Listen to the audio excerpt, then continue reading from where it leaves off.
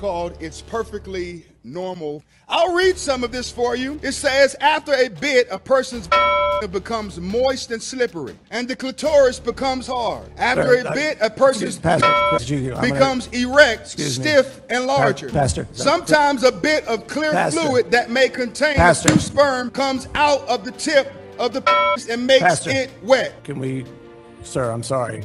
I Was it something I said? If you don't want to hear it in a school board meeting, why should children be able to check it out of the school system? We have perverts that are perverting our kids. And you all sit back smug in your chairs, but you don't want me to read it. Why? Does it bother you? Yes or no? You can't answer that question. You want to know why? Because politically speaking, you can't say that it's wrong. And you don't want me to read the because it exposes the truth.